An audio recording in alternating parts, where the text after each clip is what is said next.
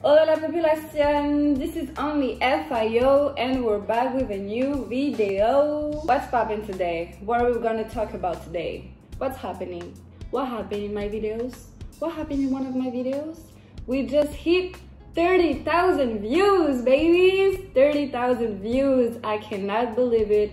It's one of my most viral video. I don't even know if I can say viral, but the most viewed, let's say that, the most viewed videos and I am so glad it is a Cameroon vlog, guys. Like, you guys just give me so much love, so much support. I got some comments saying that you were feeling like home watching my vlog, so that really, really, really, you know, touched me inside. I really appreciate it. Just reading your comments, see how wonderful that vlog was and I don't know it just like you know melted my heart and I appreciate it so much guys. So today we're back with a new video. I'm going to react to the Cameroon vlog with some food. And at the end of this video I'm about to answer couple of questions that people have been wondering in the comment section so i'm really glad to do this and i'm really happy and i'm so hungry. I got some food some african food. We don't have any cameroon food in los angeles. Like let's be straight they don't have it here. It's only nigerian and jamaican food which i like too but just like you know it's different. Get garri? It looks like this it's basically like a type of food. That's it. I love Garri more because that's what we eat the most in Cameroon, I guess. So I really like this one. It's more tasty and I like how thick it is. So that's why I always choose this one and not like the regular fufu. And then we got in this one, it's called um, Efo, Eforiro soup. I'm, I don't know if I'm saying this right. Sorry for all the like Nigerian people that's gonna cross this video. But this is Efo Riro soup made with Spanish uh, tomatoes. Um, it's very oily and it can be spicy too. Mine is mild spicy, I guess. You can eat it with uh, goat, chicken, beef, me, I choose mine with beef because I really like uh, all the like vegetables with beef. I feel like it really matches together, you know? Don't forget the little drink. Vitamalt, for all the people that don't know what it is, it's not an alcoholic beverage. Like really not. This is just, um, I don't know exactly what it is made with, but it's very good. It's sweet and I just love it. I don't know, I just love it. I'm doing like a little exception today because I am doing a little water month program, which means that I'm only drinking water for like three months. But today's a special day, you know? 30,000 views on one of my videos, you gotta celebrate. So today it's a, this is, this is a celebration, girl, yes! So let's get into it. Before we start this video, guys, please give a thumbs up if you like this video. Go in the comments, comments whatever you from, whatever you want to comment. I don't know, but I just want you to guys to feel love, to feel like in a positive energy, you know? Don't forget to subscribe, hit that little, little button, you know? Hit it. We're gonna wait, we're gonna wait. Subscribe. Why are you still waiting? Subscribe right now. Now come on subscribe. Once it's done, we are getting into this video. Let's go. I wanted to show you my hair. I miss my hair so much. family and to spend some time with them. I only stayed for three days, but like I had so much fun. I met another part of my family that I didn't know, and I met my cousin from Russia. It was such a blessing to have her with us. An amazing trip. And so yeah, I only stayed for three days because at this moment I had school and I live in Los Angeles in United States. Couldn't stay more than a week and I had to stop in France first and then get to like another flight with my mom, get to Cameroon and we got into like so much trouble. I know it's such like a short amount of time, but you'll understand why I stayed only for like this amount of time. This is so good.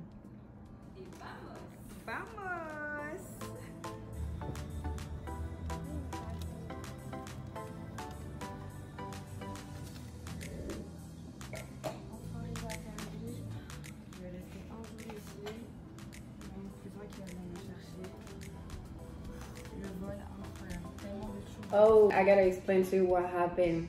in the plane. So this was from Los Angeles to Paris. And one of my friend, my closest friend, before I took the plane, she gave me like a little crystal just to like protect myself because you know I believe all the spirits all the energy around me. So it's safe for me to travel with something that can protect me. I was on the plane. I just felt like something strange was around me. Like the energy outside and inside was weird. I took the crystal in my hand and started to like fall asleep just to like feel better there were so many turbulences every hour I just like fell asleep finally and I woke up because of the turbulences and my crystal just left my hand out of nowhere. I started like searching for it and I couldn't find it. I was really scared. Like I was scared because I was struggling on my own. I was scared because the plane was not going straight.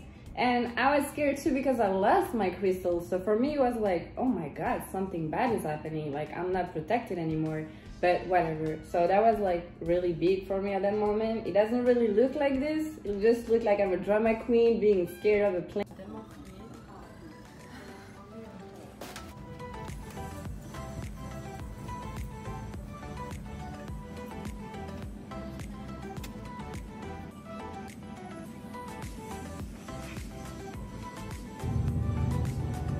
This moment I didn't record me going to Paris airport because it was so stressful. I got my tickets from one of my friends. So once I get to Paris, the next day I can take another flight to go to Cameroon, right?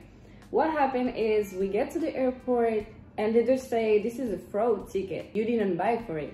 And I was like, yeah, my friend just like gifted it to my mom and me to just go to Cameroon for whatever reason that I'm about to explain at the end of the video and we almost got arrested at the airport because those tickets were fraud. They were basically paid by another person's card, which is a fraud. Our flight was canceled the whole day. We had to find another ticket for the next day. The next day flight is it's really expensive.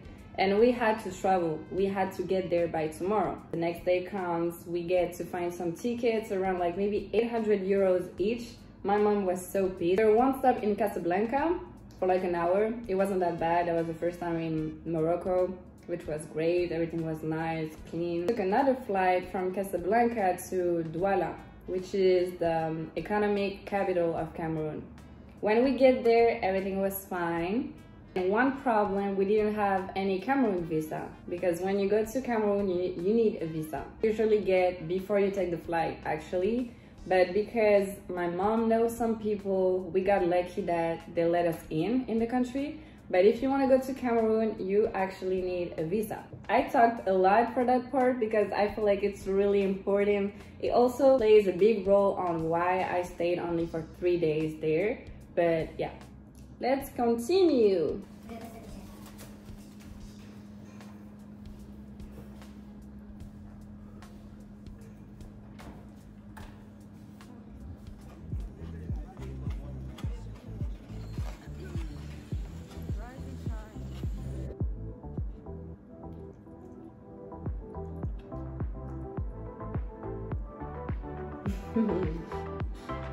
The bumpy roads, I read a lot of comments about, oh my god, the bumpy roads were so funny. This is actually uh, a road to go to the village, but in like the actual city, you don't have like huge bumpy roads like this. Those people are from a school located in Bonabéry. This was a show only for us. My family rented those students to have like a little show, little dance. I didn't know at first, but those are students. The girls with the blue shirts, they're doing like a traditional dances and the yellow shirts are just like, you know, on the temple. This is just a private event and all of them were family. I love that moment. Okay, I gotta explain this moment because you guys were going crazy in the comments saying that, oh my god, you're such a drama queen. There's no water. You're going to a village with no equipment. First of all, we were not supposed to sleep there because where we were in the village was my grandmother's house, which It's still building. There's nothing inside. No water, no electricity. It's an empty house. So obviously, when you don't know that you're supposed to go to the village and sleep there, you don't have all the equipment that you usually need in a daily basis, which means water, toothbrush, soap, we didn't have anything, not even changing clothes. The party that you saw before this moment ended very late from probably 3 or 4 a.m. and it's really hard to like get back to the city with those bumpy roads at night. So we had to sleep there. We actually slept in the car. Next day, we had to like wash ourselves. My cousins and I had to share one bottle.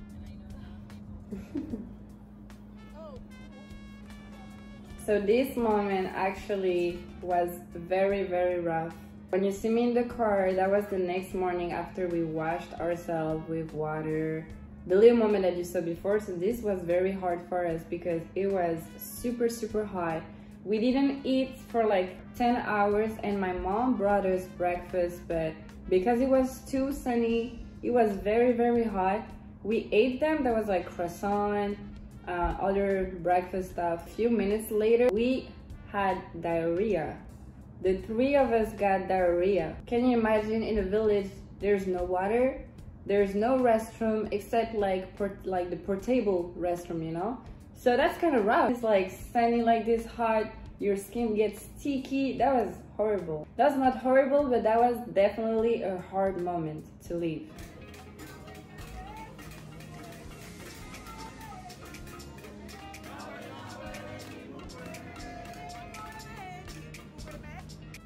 So this moment when um, my aunt is doing the live music and we're just walking around, it's actually a funeral. I didn't really say it in the video, I didn't do it, like I didn't even say it at all.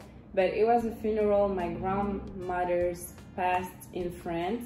So we had to like import her body to Cameroon for like a couple months and then we, the whole family went to Cameroon for the funeral. This is my grandmother's house. Did the whole event, the whole celebration inside the house. And yeah, this is just like a traditional moment before you actually bury uh, the body very beautiful I, like I cried so much because that was so beautiful one thing that I don't really like about Cameroon is the corruption every time you go somewhere or you're just driving outside you're gonna see cops or whatever person from the government that can stop you and ask you for money for no reason. Just like block you and say you're not going anywhere, so you gotta pay. But it only block people that looks that they have money, right?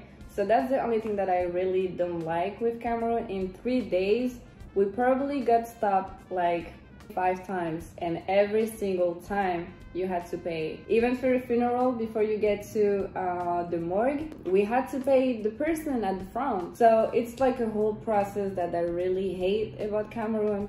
But the rest of it is just an amazing experience. You meet so many people, people are nice. The food is amazing. The food is amazing, I'm not gonna lie about this that was such like a really good experience and like I said I haven't gone to Cameroon for like eight years before this video. I was supposed to go there uh, for the one year celebration which is like a traditional thing to do. I don't know if it's like in Cameroon or just in my family but after you bury someone's body a year after you gotta come back and do like a celebration I don't know why they celebrate death, but whatever. I think that is the end of the video. That's why I'm really, really happy about this video because that meant a lot for me. Just like, you know, vlogging around, showing my country, showing this little moment that I showed you about the funeral of my grandmother. I love her so much. Makes me happy, you know, to see that a lot of people supported this video and we hit 30,000 views. So it's like an honor for me to just like thank you all thank you thank you thank you for the support thank you for the love thank you for the comments. And i'm just gonna answer to some question. I guess i have like four or five questions that people have been wondering about cameroon and i'm willing to answer. Let's go. The first question is what occasion was it? It was for my grandmother's funeral. That's why I only stayed for like a really short amount of time and I had to leave in such a rush. I didn't really wanted to like talk about it in the vlog because I really just wanted to like show the city, the views, the food, all the good things about Cameroon. So next question, Are people in Douala commonly such light or is it normal through all Cameroon? I'm not gonna lie, I haven't seen a lot of light skins there, but in this video you see me and my two other cousins because me, I'm from France, one of them is from Netherlands and the other one is from Russia. So people were looking at us like, oh my god, who are they? Why are they light like this? From my experience and from what I've seen so far, we're not a lot of light-skinned people. I hope I answered that question well. It was kind of tricky. So next question, someone says, you guys seemed to not have been informed about the trip to the village. You should go with a towel or face towel and there's always a bucket of water you can use to bath. Ha ha ha. Well, sir, you're right. As I said earlier, we were not supposed to sleep at the village. So next question, what restaurant in Douala did you go to? By the way, cool video. Thank you so much, Sarah, for the comments. And the restaurant I went to was called uh, Chop and Mayo. Really nice one with AC. The food was good. The price can be a little bit up for the people that live in Cameroon, but for the people from the outside, touristic people, that is not expensive at all. I can show you what I ordered right here. Was only three to maybe four euros. So last question, someone asked if it was safe for white people to visit. There's a lot of stuff happening in Cameroon. There is some dark areas as any other countries actually. So I feel like if you really want to like experience the whole country as a white person, I definitely recommend to go with someone that knows the country or you can go with a guide. It will be more safe for white people to go that way. But I don't think that Cameroon is like a dangerous country. Honestly, I don't think so. There are some dark sides and there are some good sides. It's everywhere the same thing. So if you want to go visit, just go. I love Cameroon. I'm really proud of my country and I'm really proud of who I am right now and I'm really proud of my family. Really appreciate you guys for giving me so much love in this video and I hope you like this little reaction. I don't know, I might have talked too much, but at least you don't have to listen to all of that. Appreciate all the love again and again. Thank you so much for 30,000 views. Don't forget to subscribe in the bottom here, only FIO. Click it, click. If you haven't followed me on social media, you can follow me on my Instagram that will appear just right here. Bye. I'm gonna enjoy this food. Mwah.